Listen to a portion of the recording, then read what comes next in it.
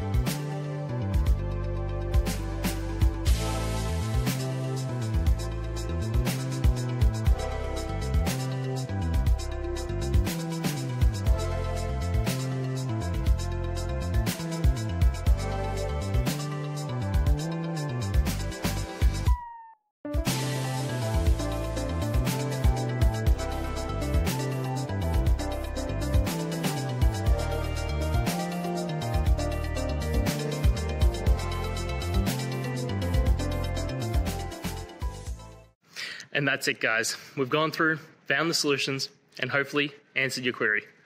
If it did, please hit subscribe. I really appreciate it. And until next time, hope you have a good one. Cheers.